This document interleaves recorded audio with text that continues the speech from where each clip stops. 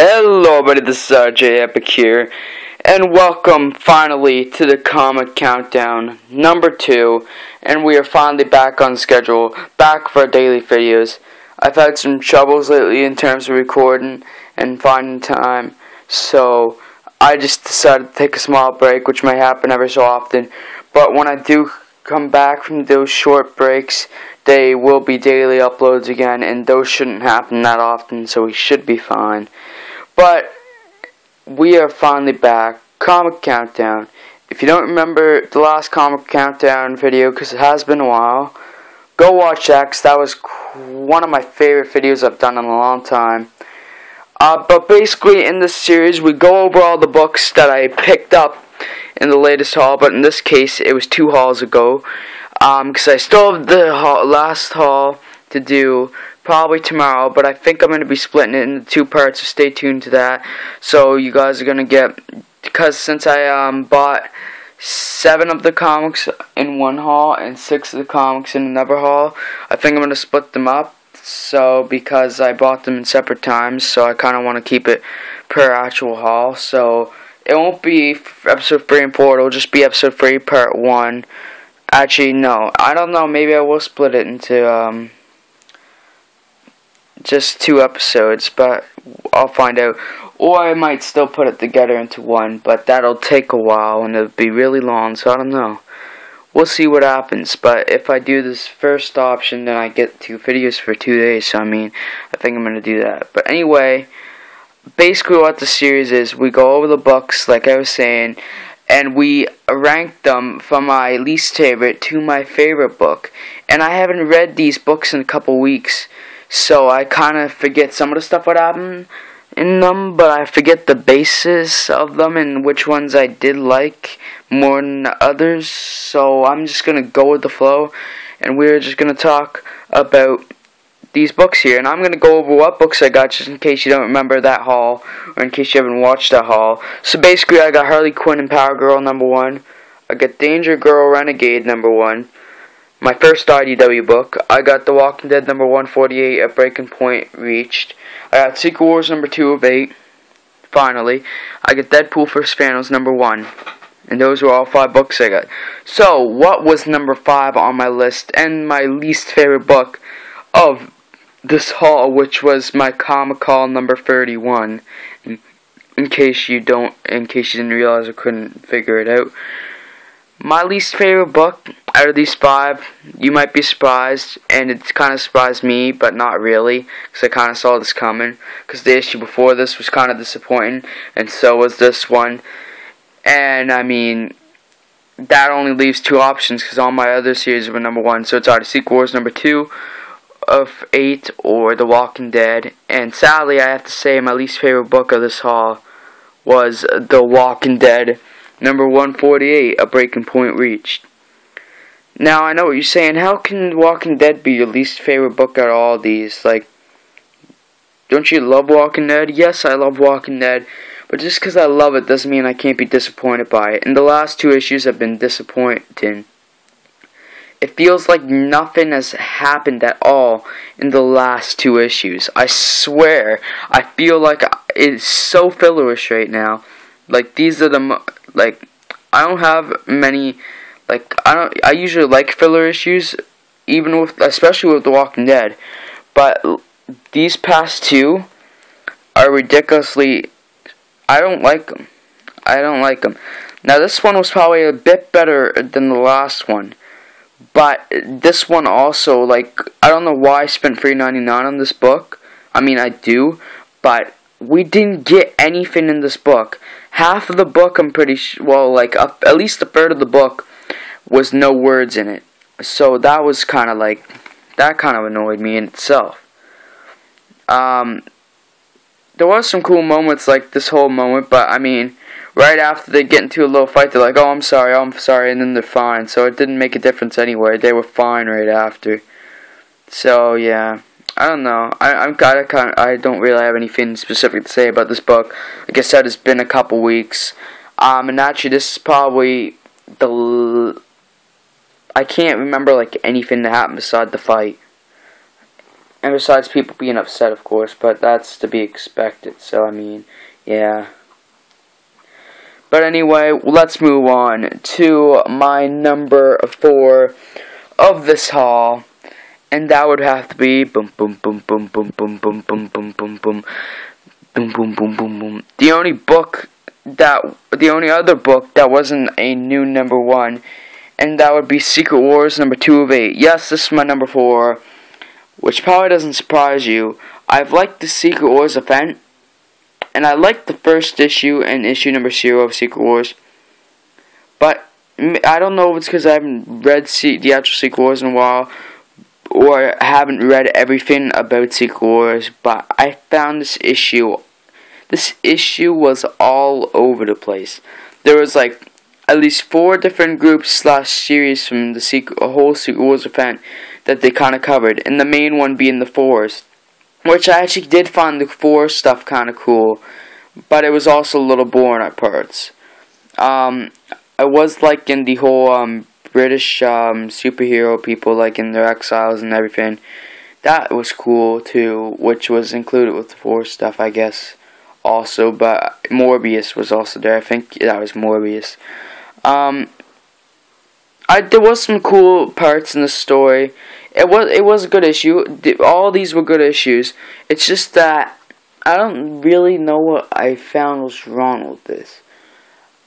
I just didn't really like I think it's also because they left us hanging on what happened to the other heroes in the first issue that were in the other jet that didn't get destroyed right away or something. And even the ones who did get destroyed, like, are they actually dead or are they bringing them back? Like, what is happening?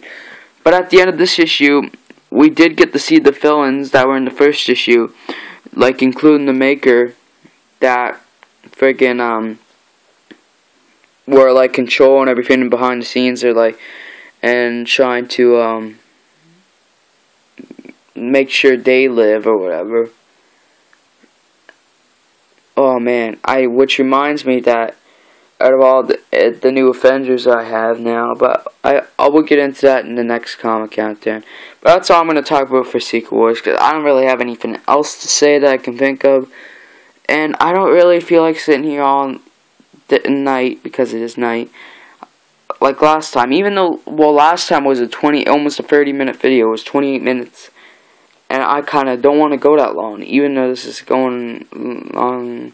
This will probably be longer. This will probably be longer than 15 minutes, or about 15 minutes, but that's fine. Anyway, on to the next one. What will it be? I laid these out in no random order because I want to surprise you guys. And I think you guys will be surprised at what my number one is. Um, but my number three is Harley Quinn and Power Girl issue number one. This was great. Actually, let me correct myself. The second half of this was great. Maybe even less than half. The first half, the only thing really that kept me going in the first half was Harley Quinn. I like Power Girl. Trust, I really like Power Girl, even in this issue. But Harley Quinn is what stood out. She is hilarious. I love their approach on Harley Quinn now. I love how they handle her, and I really wish I could be reading her actual series, but they don't have the issue, next issue I'm looking for, so I might have to skip some issues and just go to the lowest one I can find, because I really want to read Harley Quinn so bad, and it's kind of getting ridiculous. But I will be picking this up. I know there's already four issues out, probably soon to be five. So next time, I was gonna actually in my last haul, um, but as you see, I didn't. I was going to pick up issue number two. Same with the Deadpool. Thanos. I was going to get issue number two. But that didn't end up happening. But hopefully next time I'll get issue number two of this. Just to keep it going. Either this or that. I, I at least want one of the issue number twos. Which actually, if I had to choose, it'd probably be that. Since it's obviously ranked higher on my list. But at the same time, this is pretty good. And to tell the truth, the cliffhanger at the end was pretty cool. It's not really a cliffhanger. But it's kind of like, well, what's going to happen next? I guess it is a cliffhanger by definition, but it's not that great of a cliffhanger. Um, there's also, they were, um, they're kind of making fun of Marvel in this, too. Uh, with, um, with a character. I think it was they making fun of Thanos. They might have been making fun of two characters. Um, actually, which I thought was hilarious. Um, and they also went to this planet where I guess another Power Girl was like the ruler's um, uh, love god, like love friend. Or, I don't know how to explain it, but which is actually the guy that's in the background here. Um, they were pretty intimate apparently. Um, but yeah. Um, uh, I don't know if I have anything else to talk about this one. So I think we're just going to move on. But yeah, this was a good issue. I will picking up more of this. So yeah, let's move on. To my number two. What can it be? It's either Danger Girl or Renegade, issue number one, or Deadpool vs. Thanos, issue number one. And it is actually Deadpool vs. Thanos, issue number one. That's my number two, so you know what my number one is now, but we'll get into that after. My number two, Deadpool vs. Thanos, issue number one. Oh my god, this was great. The beginning, I was a bit iffed by, but I knew it was, I still liked it. Like, the first few pages was like, meh, but it got really good really quick. And I love this cover, um, because Deadpool, if you don't know, for some reason, is a character where he knows he's in a comic or whatever media format he's in, and he breaks the fourth wall. So he's like, it was a joke, Marvel, when I, I was joking when I said I wanted to fight Thanos. But yeah, this issue was great. But one thing that did annoy me, but at the same time I laughed at, was at the end.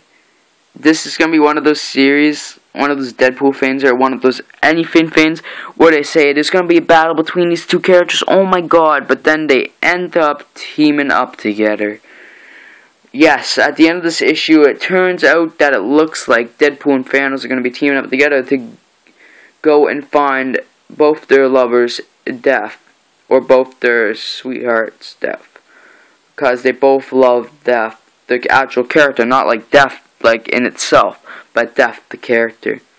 And also, the story was set before the Marvel Now relaunch of Deadpool, so that was something cool too. So I don't have any uh, Marvel books before they relaunched of Marvel now, besides really old like 80s books and stuff like that. Um, which is fine with me too, uh, cause those are good too. Um, also there was a, this weird bird character that I'd never seen before, or that I've only seen one time and kind of erased him out of my mind. And he's like a magic voodoo person, and it was kind of hysterical the conversation between him and Deadpool. So it was you guys just have to pick up this issue. I don't want to do a whole spoiler thing. That's what my reviews are for. I might review this because I thought it was pretty great. So yeah, I'm just gonna move on to my number one, and I'm gonna be picking up the next issue. And variants, there's a lot of variants there, but I got the, I think this is normal cover. I haven't checked. This probably isn't normal cover actually, but I don't really care. I thought it was a cool cover, and I liked the fourth wall breaking, so I got it. But on to my number one, which would happen to be my first IDW book, and what a great one to start with. And it is Danger Girl Renegade, issue number uno, otherwise known as un, otherwise known as one. That was three languages, in three different languages I just said number one. So, let's go. Danger Girl was great. Danger Girl Renegade. Next issue comes out soon this month. Um, I don't know when, but I'm picking it up. I'm adding this to my pull list. Next time I go, I think I am at least. I have a lot of books to add now, especially with the last haul, uh, the last haul video. So I got so the last two hauls because I got so many good books, mostly the last haul in general. But I'm adding so many books now to my pull list. Some of them haven't even come out yet by the time I'm going to add them because I want to be prepared. And especially with the Avengers books coming out, because there's like six series, which I'll be talking about in the next comic, well, probably in two comic countdowns from now. So I'm going to be splitting that into two parts I've decided, because I'm going to be going into it talking about some of the new Marvel now, the all new, all different Marvel uh, series because those I have a lot to talk about, and that should be a fun episode. But um, I love the little backstory at for like the first half of this issue. That was awesome. This like I felt like I was like watching a movie, but it was literally it was like a movie from my comic. Like I could see like the whole backstory and just the whole character of Abby and like Danger Girl. I could see that as a movie. Like that was awesome. And then the second half was just as good, maybe little maybe a little bit not as great as the first half, but then at the right at the end it picked right back up. She's like and she's like, "Well, Danger Girl split apart," but then she's like, "Actually, because they thought they split apart," and then she's like, "Actually, we're get." I think she's trying to get the group back together now. So we're gonna get the Danger Girl group back together. Hopefully, we get to see more of those developments in issue number two, and I am excited. IDW, you have won my heart, and I will be picking up more of your books at some point in the future. I will try to get at least one or two more series started of yours or just read of yours by the end of this year. Hopefully, probably only one. I can't promise you two because that's probably not going to happen. So all the new Marvel and DC books coming out. Thanks, guys. I can't get anything else. Plus other arrangements I have with new image series I have, which will be in the next comic countdown, and other image series I have in general uh, to pick up. And I mean, I still got to catch up on some Marvel and DC series like Black Widow, because I haven't gotten any of that in a bit now and I still got to read more Secret Wars stuff. Like I still got to catch up. I got to catch up on Marvel Zombies, uh, Renew Your Vows for Amazing Spider-Man, Spider-Verse, a crap ton of Secret Wars series I have to catch up on. And Marvel Zombies vs. Age of Ultron is the only other one I can think of, and I still have a lot to start. So yeah, but anyway. This has been the comic countdown number two, and I think I'm gonna leave you guys to go tomorrow you guys should be getting um, the comic countdown number three, part one. Either that or number three, and then the next day you get number four. Or in between one of those two days, whether it's tomorrow, uh, Friday, or Saturday, you guys should be getting. I mean, you guys probably won't be getting, but you guys might be getting is the word. You guys might be getting a top 10 list. Or you guys probably aren't getting comic sins, but you might. I don't even know if I'm doing Comic Sins anymore, to tell the truth, but I plan to, and I hope to. But anyway, I'm going to let you guys go, because I want to get this uploaded today, tonight. It's actually not quite 10 yet, so I mean, I'll have plenty of time to upload this, but I want to get done now. And I'm going to go do some other stuff and have some fun. So I will see you all later, and goodbye.